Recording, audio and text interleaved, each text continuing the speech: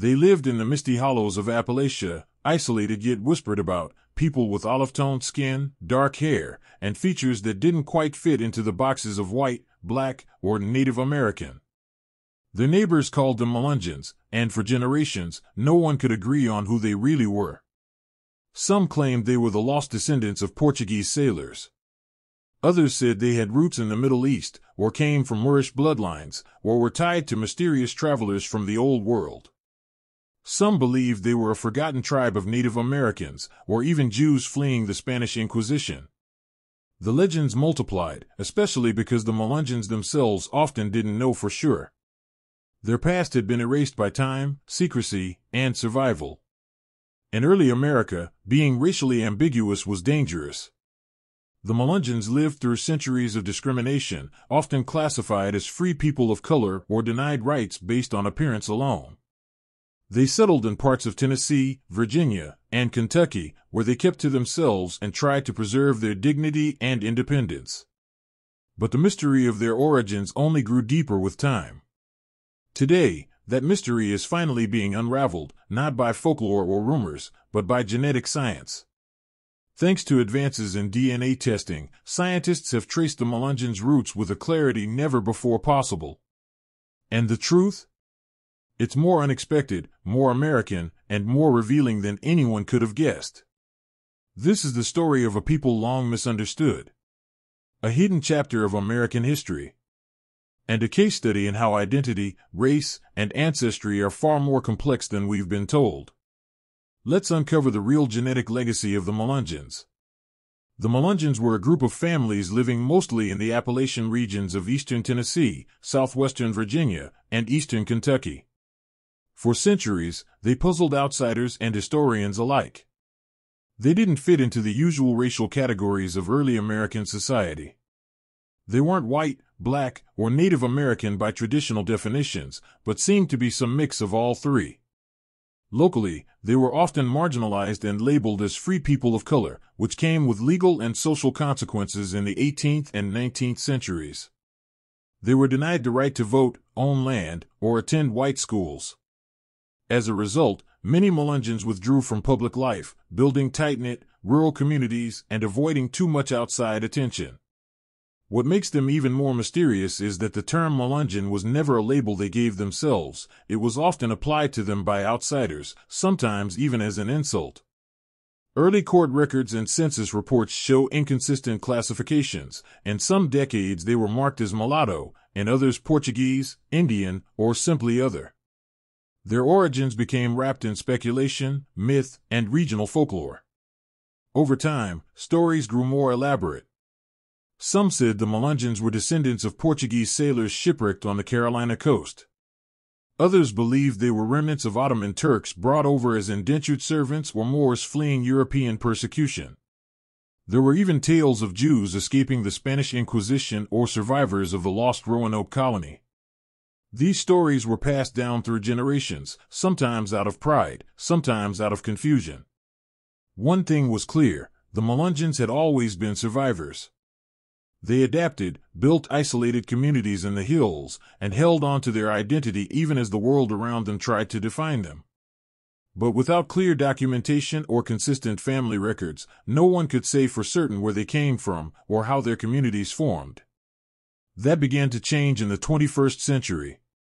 When modern DNA analysis became widely available, descendants of Melungeon families started to take genetic tests. The results finally began to cut through centuries of legend and assumption and revealed a genetic story far richer and more complex than anyone expected. For generations, the Melungeons were surrounded by more questions than answers.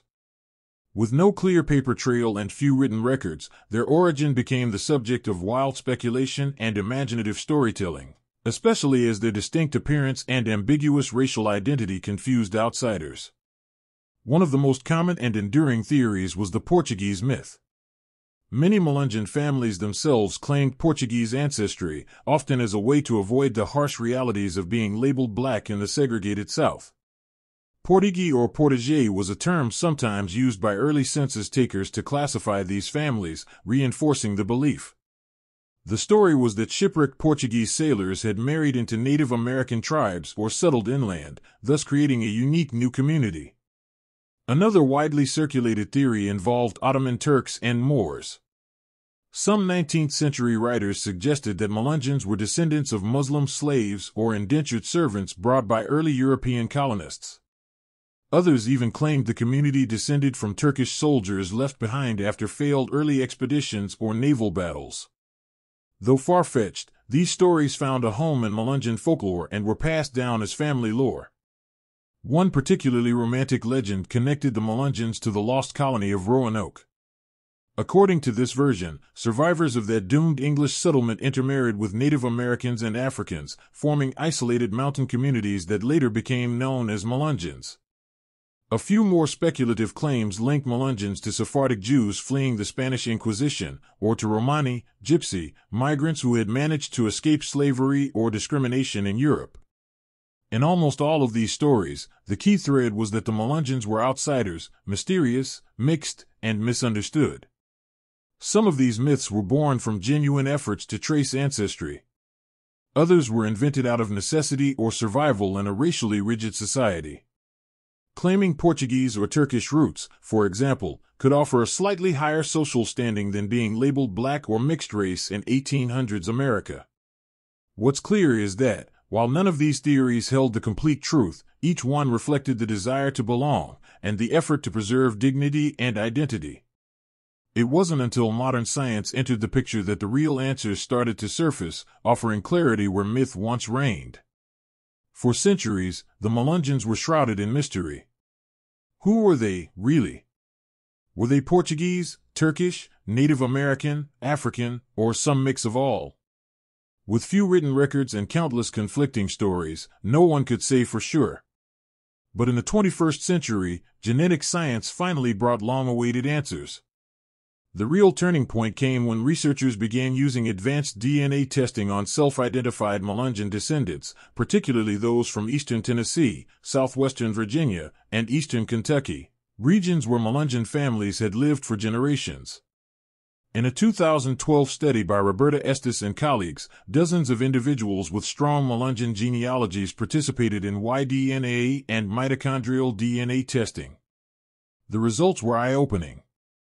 Instead of a single origin, the DNA painted a picture of a mixed ancestry group, one rooted in complexity.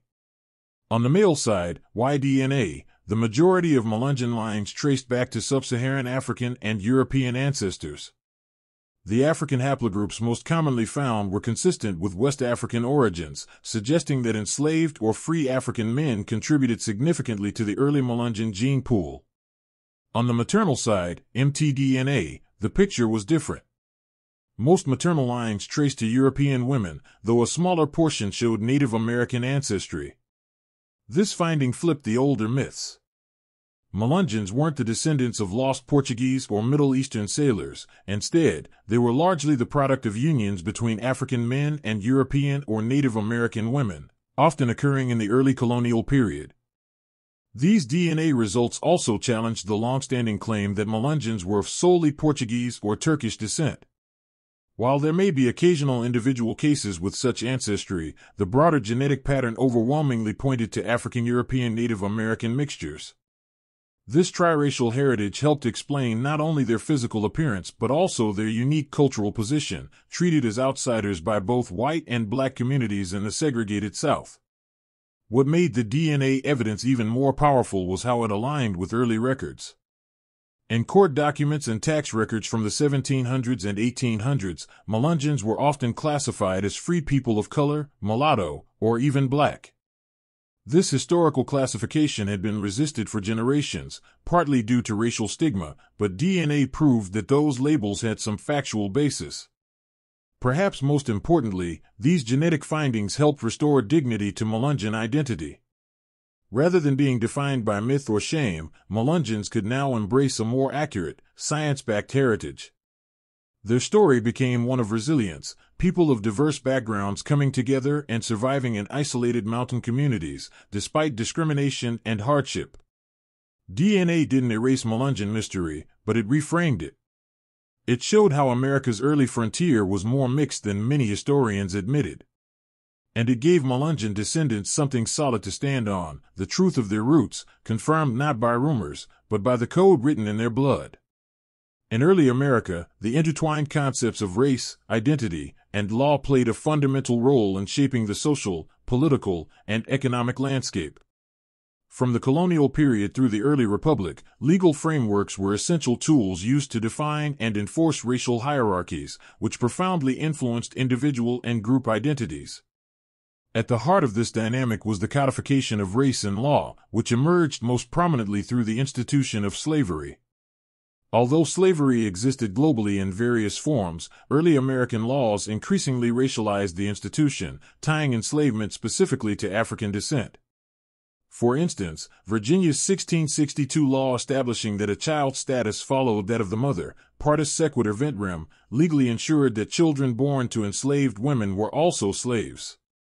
This law was crucial in entrenching racial slavery and demarcating clear boundaries between free and enslaved, white and black. Legal distinctions extended beyond slavery to shape notions of identity and belonging. Laws governing citizenship, voting rights, property ownership, and marriage often explicitly excluded non-white populations or restricted their rights, reinforcing racialized social hierarchies. For example, many colonies and later states passed laws prohibiting interracial marriage, aiming to preserve white racial purity and social order. Indigenous peoples faced dispossession through legal means, as treaties and laws facilitated the seizure of their lands, while often denying them full recognition as political entities or citizens. The development of racial categories also affected the experiences of free black people and other marginalized groups. Free African Americans navigated a legal landscape designed to limit their freedoms and maintain white supremacy, confronting laws that restricted movement, assembly, and economic opportunities. Similarly, Native American identity was frequently contested through legal mechanisms, as the U.S. government sought to assimilate or remove tribes to expand settler territory. In summary, law in early America was not merely a neutral arbiter of rights and responsibilities, but a powerful instrument in constructing and maintaining racial identities and inequalities. These legal frameworks institutionalized race as a defining feature of identity, shaping the social fabric of the nation and laying the groundwork for centuries of racialized policy and conflict. The cultural legacy of early Amerindian history, especially regarding race and identity, continues to deeply influence modern society, shaping contemporary understandings of heritage, justice, and belonging. As America grapples with its complex past, there is increasing recognition of the diverse contributions, struggles, and resilience of marginalized communities whose histories were long overlooked or suppressed.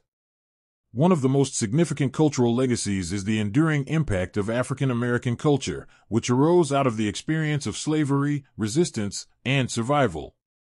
Despite the brutal oppression faced during early America, African Americans forged vibrant cultural traditions that have profoundly shaped American music, language, cuisine, religion, and art. From spirituals and blues to jazz and hip hop, African American cultural expressions have become cornerstones of national identity and global influence.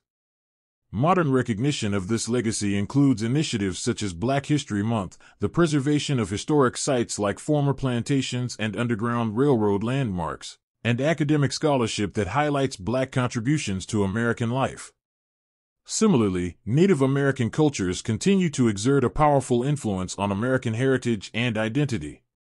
Efforts to reclaim and revitalize indigenous languages, traditions, and governance practices reflect a broader movement toward honoring Native sovereignty and cultural survival. Museums, cultural centers, and educational programs increasingly emphasize indigenous perspectives, correcting historical narratives that marginalized or erased Native voices. Legal recognition of tribal sovereignty and land rights, while still contested, represents ongoing attempts to address centuries of displacement and cultural disruption. In addition, there is growing awareness of the complexities of racial and ethnic identities in America's past, including the experiences of mixed race individuals, immigrants, and other marginalized groups. This broader understanding challenges simplistic narratives and encourages a more inclusive view of American identity one that acknowledges both the hardships endured and the rich cultural hybridity that defines the nation. Modern recognition also involves confronting the legacy of racial injustice embedded in law and society. Movements for racial equity and social justice seek to dismantle systemic inequalities rooted in early legal codes and cultural attitudes. Public dialogues, reparations debates, and reforms in education and criminal justice reflect ongoing efforts to reconcile with this history. Ultimately, the cultural legacy of early America is a dynamic, evolving story of survival, adaptation, and empowerment. Recognizing and honoring this legacy is essential not only for justice and healing but for building a society that values diversity and shared humanity. The Melungeons, an often misunderstood and historically marginalized group from the Appalachian region, offer a unique lens through which to explore the complexities of race, identity, and social hierarchy in American history. Their story challenges rigid racial categories and reveals how the intersections of ancestry, culture, and law shaped the lived experiences of many Americans. Melungeons are generally described as a mixed race community with European, African, and Native American ancestry. For centuries, they lived in relative isolation in parts of Tennessee, Kentucky, and Virginia, often facing social exclusion and discrimination due to their ambiguous racial identity.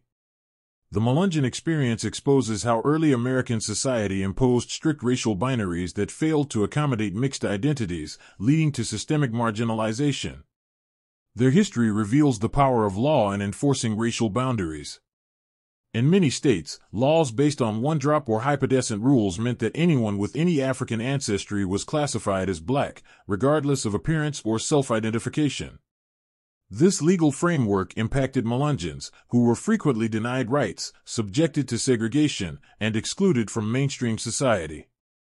Their story thus highlights how race in America has been less about biology and more about social and legal constructs designed to maintain hierarchies. The Melungeon narrative also teaches us about resilience and the fluidity of identity. Over time, many Melungeon families have reclaimed and celebrated their multicultural heritage, challenging stereotypes and demanding recognition. Their story underscores that American identity has always been more diverse and complicated than simple racial categories suggest. Ultimately, the Melungeon experience illustrates the ongoing struggle to define belonging and identity in a nation shaped by racial exclusion and inclusion. It encourages a deeper understanding of how race, culture, and law intersected to shape American history and continues to inform contemporary discussions about race and identity.